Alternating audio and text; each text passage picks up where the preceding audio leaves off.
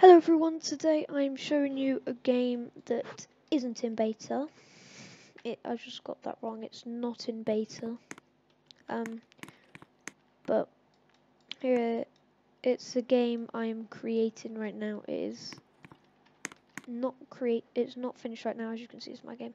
I'm level 141 with a lot of XP and a lot of gold. Because I grinded, and I'm gonna show you what this game is. So if I go to desert, this game hasn't been um, updated since the 25th of June. I just checked. Also, that was... Yeah, I can't access that because that's my old username. Okay. Well, I'm just going to show you. So in that room, it's just some armor and a sword that is very OP. And it's only for myself. That's my first ever username.